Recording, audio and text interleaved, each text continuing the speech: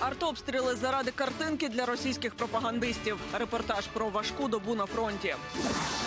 Добудувати не означає запустити. У Газпромі відзвітували про закінчення монтажних робіт на другому потоці. Сезонні раби на Дніпропетровщині викрили агрофірму, де утримували в неволі понад сотню людей.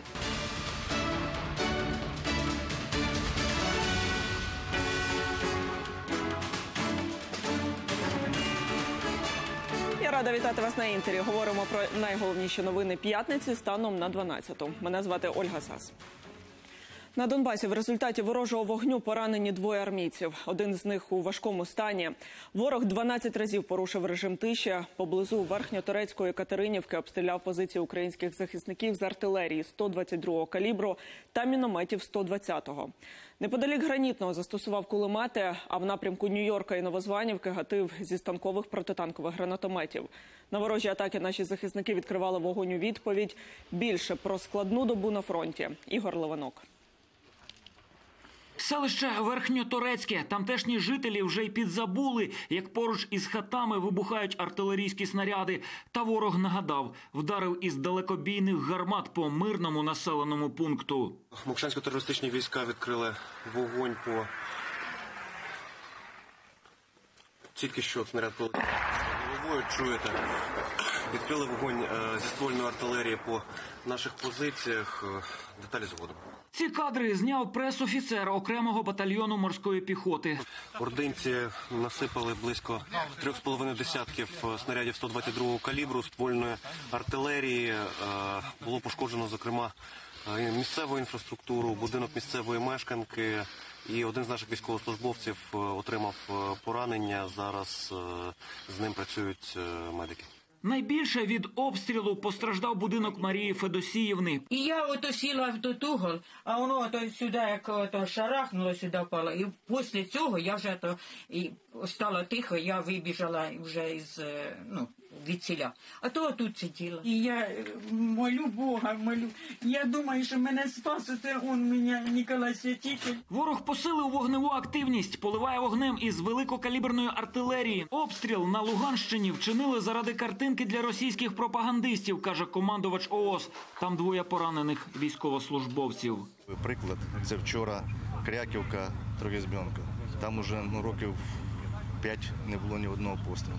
На вечір вони спочатку з артилерії, яку сховали за населений пункт, обстріляли свій населений пункт, який зараз під окупацією, це Сокольники, встановили водонапірну башню, і тут же перенесли вогонь на е, наш опорний пункт. На кожний, кожну дію є адекватна протидія. І повірте мені, це дійсно вона дієва, і противник це відчуває. Із Донбасу Ігор Левинок, Вадим Ривун, Ігор Щепет, телеканал Інтер. Північний потік 2 споруджений. Як відзвітували в російському Газпромі, усі роботи завершили сьогодні близько 9 ранку за Києвом. За даними деяких світових змі, газогін планують запустити вже 1 жовтня. Наскільки це реально і як довго триватиме пауза між закінченням будівництва другого потоку і фактичним введенням його в експлуатацію? Тетяна Логунова розкаже. Жодних офіційних коментарів, лише посилання на анонімні джерела в Газпромі. 1 жовтня, як дату запуску другого потоку, назвала агенція Bloomberg. За даними журналістів, цього дня російський концерн планує почати транспортування палива по першій нитці газогону. А до кінця грудня розраховує ввести в експлуатацію і другу лінію магістралі. Наскільки реальна ця дата наразі сказати складно, але в будь-якому разі йдеться про технічне прокачування газу. Щоб північний потік 2 запрацював на повну потужність, йому треба пройти сертифікацію. А ця процедура може затягтися на місяці. Дозвіл на роботу другому потоку має видати німецький регулятор Федеральна мережева агенція. Саме вона раніше відмовилася виводити проєкт з під дії норм газової директиви ЄС, яка забороняє одній і тій самій компанії добувати, продавати і транспортувати паливо. На розгляд усіх документів регулятор має 4 місяці. Проєкт свого рішення передасть у Брюссель на затвердження Єврокомісії, і тільки потім оприлюднить остаточний вердикт. Але і це ще не все. Північний потік 2 повинен пройти технічну сертифікацію, яку проводять незалежні експерти. Тобто, вся процедура може тривати щонайменше півроку.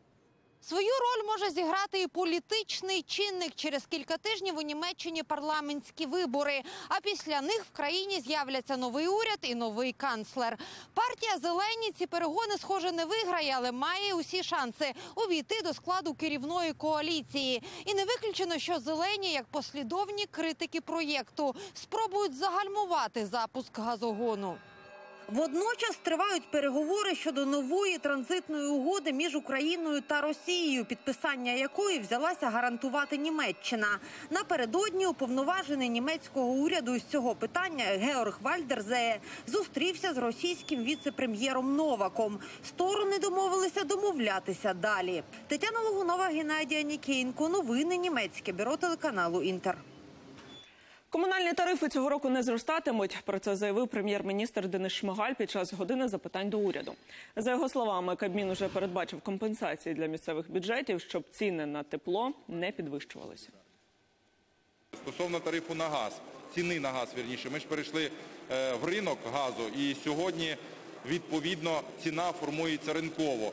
Нафтогаз, як державна компанія, запропонував споживачам річний продукт за е, постановою Кабінету міністрів України, який на сьогоднішній день складає е, 7 гривень 96 копійок, що менше 8 гривень.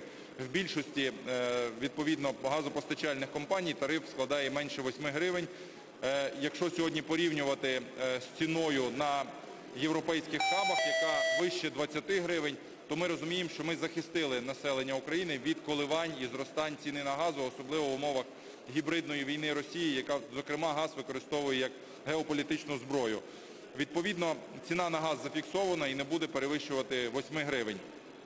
Стосовно е, ціни на опалення і гарячу воду, я вже казав, ми також не е, бачимо підстав у місцевого самоврядування піднімати дані тарифи. Ще двоє українців покинули Афганістан. Жінка з дитиною стали пасажирами першого комерційного авіарейсу, який вилетів з Кабула напередодні. Після захоплення влади Талібаном аеропорт два тижні виконував лише евакуаційні рейси військовими літаками, а потім литовище зупинило роботу внаслідок численних технічних несправностей. За словами речника МЗС України Олега Ніколенка, чартер доправив наших громадян до Катару. Вони чекають результатів ковід-тестування, а також візиту консула. Опісля зможуть повернутися на батьківщину. Напередодні очільник МЗС Дмитро Кулеба заявив, ще 159 громадян України попросили про евакуацію з Афганістану, щоб їх вивезти. Дипломати співпрацюють з посольствами в Таджикистані, Пакистані та Ірані. Авторитетні злочинці, завсідники санкційних списків і жодної жінки. Це новий тимчасовий уряд Афганістану під орудою талібів. Новоспечені чиновники вже виступили із заявою, оголосили про перші заборони, які торкнуться пересічних афганців. Хто є хто в новому кабміні та як це призначення відреагувала міжнародна спільнота? Дивімося. Це Мула Мухаммад Хасан Ахунд у санкційних списках Радбезу ООН фігурує як терорист, а тепер прем'єр-міністр тимчасового уряду ісламістів. Його заступником і віце-прем'єром таліби призначили Мулу Абдулу Ганні Барадара. Де-факто його вважають лідером Талібану, товаришем ватажка Аль-Каїди Усами Бен Ладена. Новий ісламський уряд представляє очільника Кабміну, його заступників, міністрів та інших посадовців. Серед дев'яти новопризначенців вирізняється й голова МВС Сіраджудін Хакані, військовий керівник і ватажок так званої мережі Хакані, найвпливовішої і найсмертоноснішої фракції всередині Талібану. У США її вважають терористичною. Нового очільника афганського МВС розшукує ФБР, готові дати за його голову 10 мільйонів доларів. Ми занепокоєні послужним списком деяких із цих осіб, незважаючи на обіцянки, що новий уряд буде інклюзивним. В оголошеному переліку є лише таліби, наближені до них люди і жодної жінки. Перехідний уряд, який не включає інші групи населення, не є сигналом для міжнародної співпраці та стабільності в країні. Такий меседж пролунав і в Брюсселі, але співпрацювати з новими політиками в питаннях гуманітарних готові як в Євросоюзі, так і в США. Вашингтону ще треба вивезти з Афгану майже 200 своїх громадян. Таліби дозволили їх забрати чартерами. Талібан бажає міжнародного визнання та підтримки, та все це треба спочатку заробити. Водночас новий уряд запроваджує зміни. Насамперед заборонив афганцям протестувати. У першій офіційній заяві МВС йдеться, що стихійні збори на вулицях порушують громадський порядок. Протягом останнього тижня в Кабулі та Гераті відбувалися мітинги проти Талібану. Радикали розганяли натовпи пострілами в повітря. Є загиблі. А ці двоє журналісти, які висвітлювали акції непокори. Їх затримали, катували кілька днів і врешті відпустили. Протягом 10 хвилин 7-8 людей били нас без перестанку щосили, як тільки могли. Інколи діставали палиці і гатили ними. Коли ми знепритомніли, кинули в камеру до інших. Незадоволені новою владою жінки відреагували на суто чоловічий склад перехідного уряду демонстраціями. Деяких учасниць таліби побили, решту розігнали. А вже в наступній заяві радикали заборонили афганкам займатися спортом. Це стосується і атлеток національних збірних. За словами представника нового уряду, іслам дозволяє жінкам виходити на вулицю лише в разі необхідності, а спорт до таких випадків не належить. Марина Біленька, новини, телеканал Інтер. Українські прокурори вислухали свідчення родичів у справі МH17. На процес щодо збитого в небі над Донбасом пасажирського Боїнга до Гаазького суду прибула делегація на чолі з генпрокурором України Іриною Венедіктовою. Подробиці слухання далі. Про те, що відчували тієї миті, коли дізнались про збитий літак, як намагались оговтатися після горя і чого очікують від суду. Свої промови перед суддями родичі загиблих виголошують третій день поспіль. Ми дуже добре розуміємо, що багато хто намагається вплинути на висновки правосуддя. Звісно, події стосуються воєнного періоду, але водночас зрозуміло, що его великих людей на цій планеті більше за відповідальність оприлюднити факти. Поділитися своїми історіями та думками зголосилися 90 осіб. Щоб заслухати їхні промови, суд дав три тижні. Нікого не обмежують ні в часі, ні в праві висловити своє бачення ситуації. Якщо я знатиму, хто натиснув на кнопку і хто дав наказ стріляти, мені значно полегшає. Покарання для мене більше не важливе. Якщо винуватці житимуть ще довго, я сподіваюся, що їхня підсвідомість ще їх дожене. Вони не зможуть більше спокійно спати через те, що скоїли. Можливо, Кремль чи Путін колись попросять вибачення і визнають свою відповідальність. Можливо, але найімовірніше ні. Вислухати ці свідчення приїхала й українська делегація. Генпрокурор Ірина Венедіктова разом з новим послом України при ЄС Всеволодом Ченцовим. Напередодні вони зустрілися з нідерландським генпрокурором та головою слідчої групи в справі MH17. Тепер поспілкувалися із родичами загиблих. Для них е, це момент емоційний, момент моральний, що Україна підтримує Нідерланди, і Україна серйозно і відповідально ставиться до цієї справи. Усі свідчення родичів суд додає до справи. Можливо, у майбутньому, коли суд остаточно встановить винуватців, вони зможуть вимагати певних компенсацій. Наразі ж для них це насамперед моральна підтримка.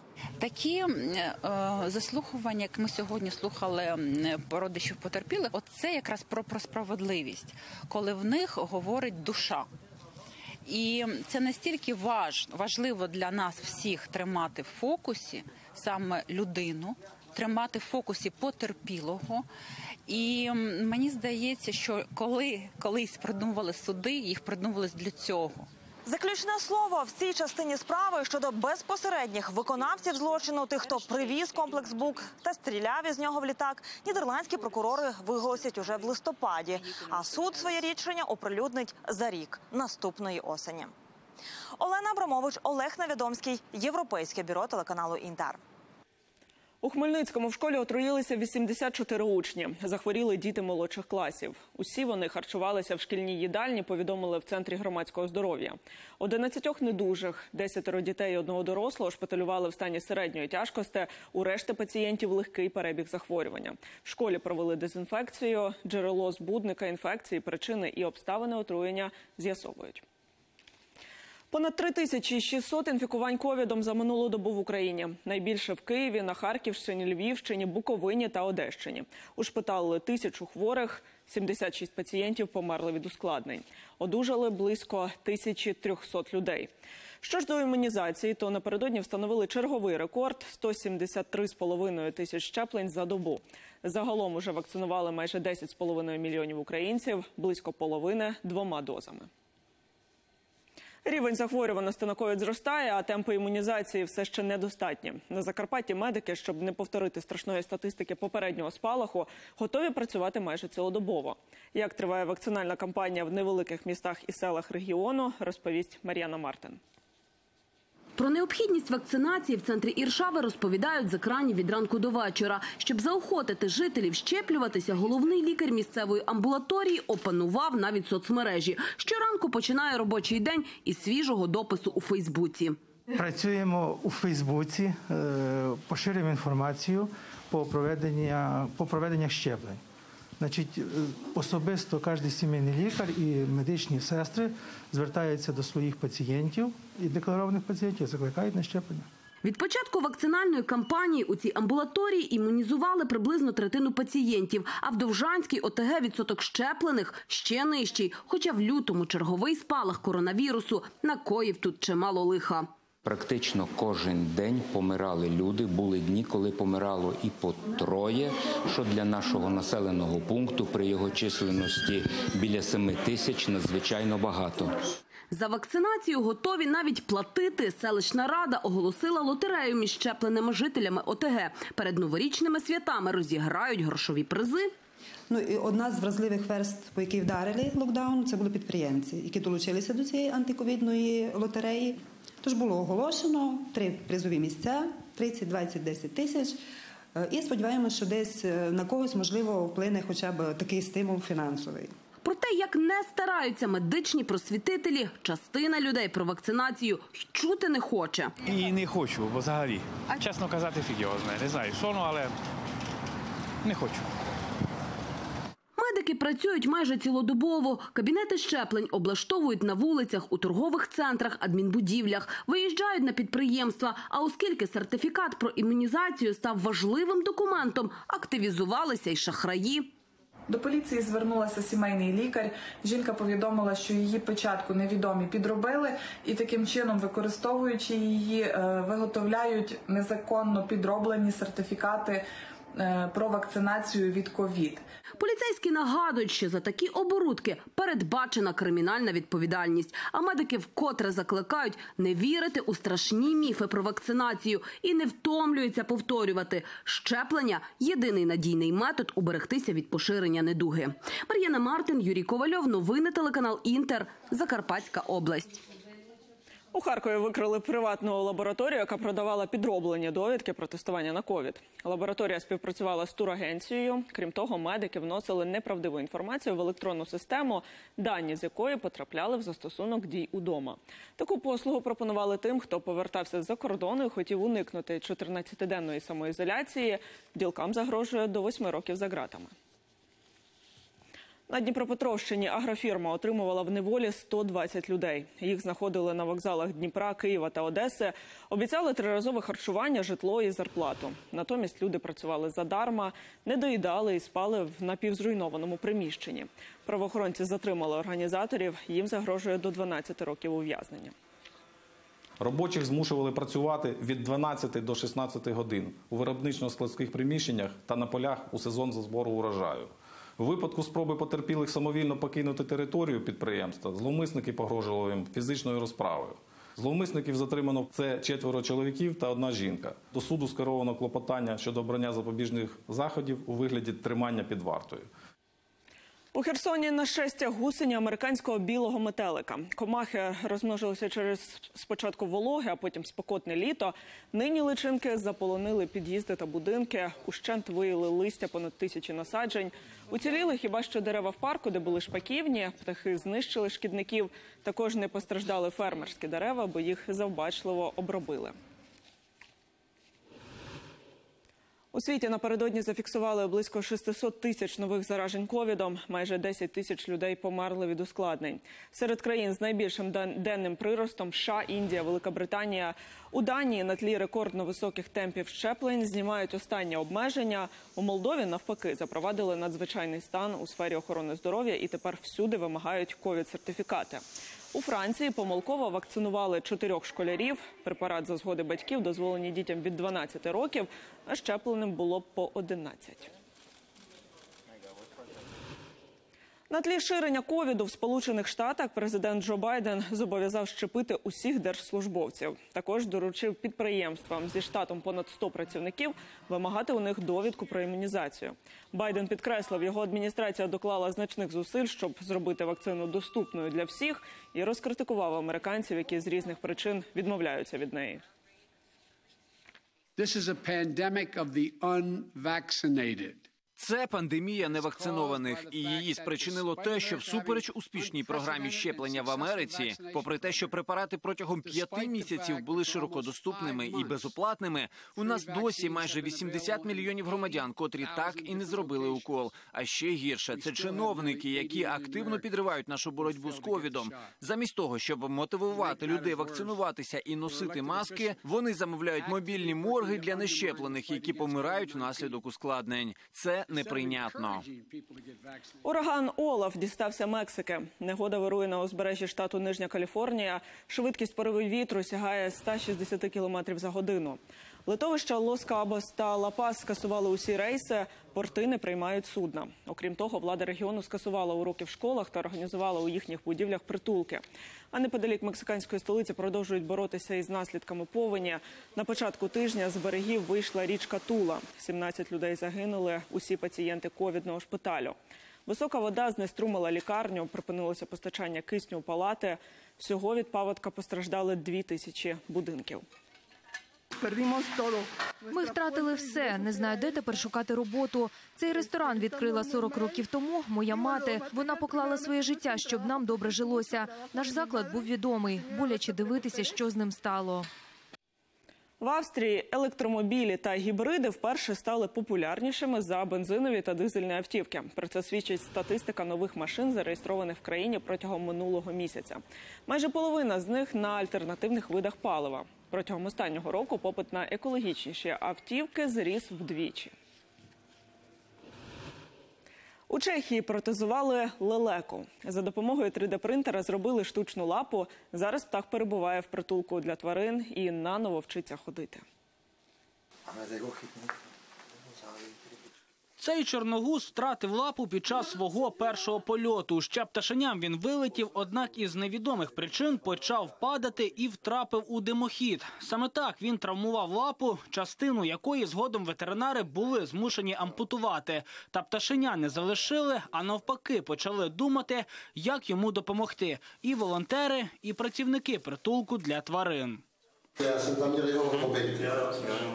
І винайшли протез, а розробив його чеський студент Матяш Міхел. На комп'ютері він повністю його спроєктував, після чого роздрукував за допомогою 3D-принтера. Так, цей протез я справді створив завдяки 3D-принтеру. Потім я наповнив його всередині піною, щоб пташці було комфортно пересуватися. Пластик був би не дуже зручним. Однак на цьому чеський студент не зупинився. Тепер він працює над розробкою суглоба для протезу. Усе задля ще зручнішого пересування птаха. Якщо мені вдасться розробити спеціальний суглоб, то я зможу зафіксувати протез у нерухомому стані. Поки що це неможливо. Також я працюю над створенням силіконової шкарпетки. Тоді протез стане стійкішим і зручнішим для пересування. А зараз величеня перебуває під постійним доглядом ветеринарів і знову вчиться ходити. Волонтери зацікавлені, щоб чорногуз повернувся до звичного для себе життя в природному середовищі, та поки що відпускати його зарано. Навіть якщо протез працюватиме ідеально, він у будь-якому разі потребуватиме обслуговування. Ми спробуємо знайти для цього лелеченяти дім, де він міг би комфортно жити, літати та полювати. Можливо, це буде природний парк. І поки лелеченя пристосовується до своєї нової лапки, волонтери та ветеринари жартома називають його горе-птахом та впевнені, що цей Бузько все здолає. Володимир Кулаков, новини, телеканал Інтер. У Франції попрощалися з легендарним актором Жаном Полем Бельмондо. Церемонія відбулася у почесному дворі Паризького будинку інвалідів. На прощання були родичі, політики, діячі культури та спорту. Віддати останню шану приїхав і президент Еммануель Макрон. Потрапити на церемонію за спецперепустками змогли близько тисячі шанувальників актора. Жан-Поль Бельмондо помер чотири дні тому. Йому було 88. У кіно дебютував 1956-го, зіграв понад сотню ролей. У 2011-му йому вручили почесну золоту пальмову гілку Канського кінофестивалю, а у 2016-му – золотого лева за внесок у світовий кінематограф. І поки що це всі новини. Наступна наша зустріч буде о 17.40. Я вам бажаю легкої п'ятниці.